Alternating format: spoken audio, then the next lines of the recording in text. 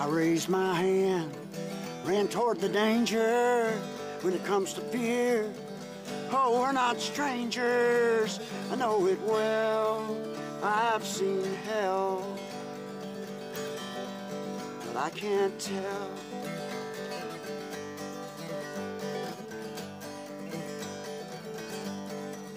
I made an oath to protect and do what they expect me to do for the flag. It's not just a rag that waves. It's my land. It's my freedom.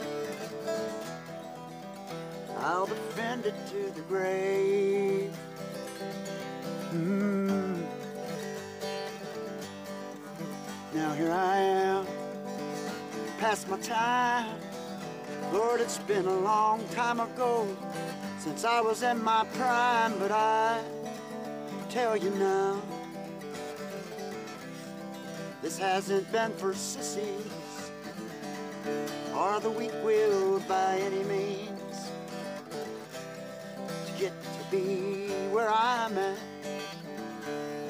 but one thing I did was to promise me, and assuredly I would die for free.